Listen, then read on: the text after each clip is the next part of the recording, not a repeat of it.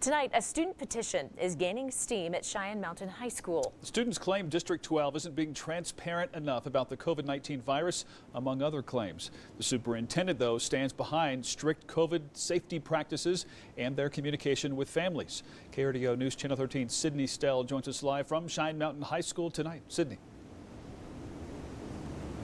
I spoke to the Cheyenne Mountain High School students who started that petition today. They told me they don't feel safe at school, but when I talked to the superintendent, he strongly refuted their claims. Students at Cheyenne Mountain High School started a petition to halt in person learning for a few weeks. They say they don't feel safe at school. People don't care. It's COVID's a joke at my school and no one takes it seriously. I've had teachers complain about COVID and how they don't want to take it seriously. I've been dress coded more than I've seen people get um, in trouble for not wearing their mask.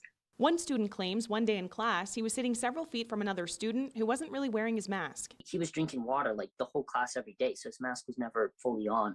And I didn't know he was sick until two days ago, and he's been gone from school for like two weeks. And the school didn't tell me. It was a friend of a friend, which is usually how you find out. They also say their dashboard doesn't give them enough information. It only shows total cases and contact tracing investigations since August. It doesn't show active cases. I spoke to Cheyenne Mountain Superintendent Walt Cooper. He says they don't have the resources to update the dashboard with active cases.